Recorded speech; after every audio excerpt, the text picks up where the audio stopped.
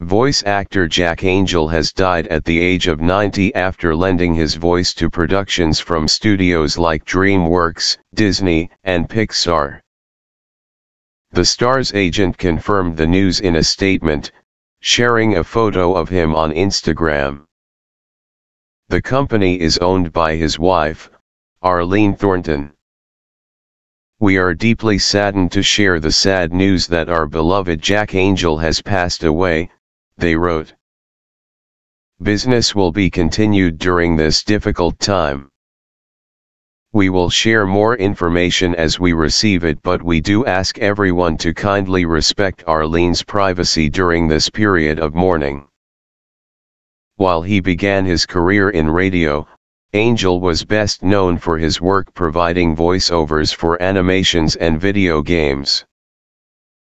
Some of his first voiceover jobs were in the 1970s, for series like Super Friends, in which he played Hawkman, The Flash, and Super Samurai. In the 1980s, the voice actor went on to appear in the Transformers, from the second series onwards.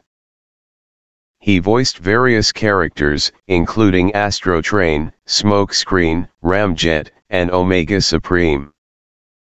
Angel was also known for his work on animated films, including the likes of Monsters Inc., A Bug's Life, Cars, Ice Age, The Meltdown, and Aladdin.